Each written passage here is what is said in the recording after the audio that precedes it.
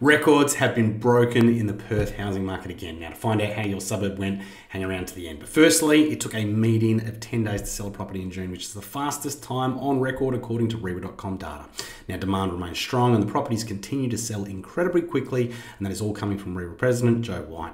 Now, demand is being fueled by population growth, along with more people turning to the established homes market due to the delays and rising costs in the building industry, and of course, the challenges of the rental market. Now, the fastest selling suburbs in Perth were Greenfields and Parmelia three days, Balga, Dudley Park, and Port Kennedy were at four days, and Bertram, Cooloongup, Armadale, Carlisle, and Leeming were at five days. Now, also worth mentioning, eight of the top 10 fastest selling suburbs had median house prices below the Perth median, with affordability being a key factor for buyers who are acting quickly when they see value. Now, while demand has remained strong in the face of 12 interest rate rises, buyers are definitely more budget conscious. They are factoring in more rate rises and buying within their means, and that's all coming from REIWA President Joe White. Now, the number of properties available for sale in Perth fell to just over 5,000 at the end of June, and this was 4.4% lower than May and 37.5% lower than 12 months ago. Oh my God, there's no stock.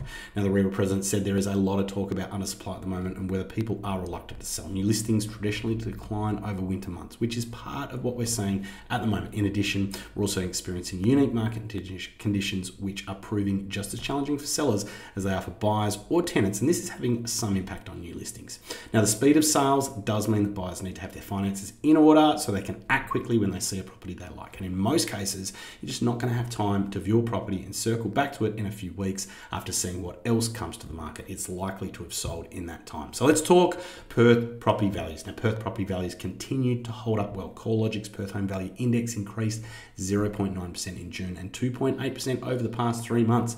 All major capital city markets continued to improve, but Perth was the only one to show growth over the past 12 months, having recovered from a relatively mild, almost minus 1 decline through last year's downturn. Now, Perth's median house price rose marginally to $551,000 over the 12 months to June. While this was only 0.2% higher than May, it was 4% higher than 12 months ago. Now, according to REIWA.com, the top performing suburbs for house price growth in June were Beeliar up 3% to $625,000, Hammond Park was up 2.6% to $533,500, Dawesville was up 1.9% to $550,000.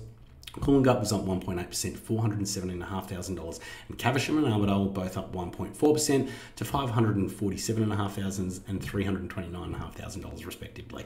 Now Palmyra, Butler, Waikiki and Cloverdale all recorded growth over 1%. All right, turning our attention to Perth's rental markets, more records were broken. Median rents reached new heights in June. The median house price hit a record of $580 a week. This is up from 570 in May and $500 at the same time last year. The median unit price also set a new record. It rose 20 bucks over the month to $520 a week. And this was $80 higher than 12 months ago. Now, Perth's median dwelling rent price remained unchanged at 550 bucks a week, reflecting a large number of leases around that price. And according to REIWA.com data, the suburbs that saw the most growth in their median rent. In June, were Claremont up 44% to 828 bucks a week, Sorrento up 43% to $1,000 a week, Victoria Park up 33% to 600 bucks a week, Inglewood was up 28% to 600 bucks a week, and West Leederville was up 23% to 750 bucks a week. Now, listings for rent, there were 2,146 properties available for rent on REIWA.com at the end of June. This is 7.4% increase on May, but it's 5.7% lower than 12 months ago. It is a small change, but an early indication that the rental market is easing, said REIWA President Joe White. For example, while the number of listings is about 6% lower than in June 2022, this is a big improvement compared to the past few months when it's been about 20% lower year on year. Now, building completions are playing a role in increased listings, and REIWA members are reporting more tenants moving out into their long awaited new homes, and this is freeing up some supply. We're also seeing an increase in requests for additional occupants as tenants seek to split the rising rent costs as well as address the difficulty of finding a property in current tight conditions. This is also easing some of the pressure on the market. Now, it took a median of 16 days to lease a rental during May, one day slower than April, and two days slower than three months ago. Now, the slight slowing in the time to fill vacancies is also an indication of a change in the market. We expect to see a slight easing in the vacancy rate soon.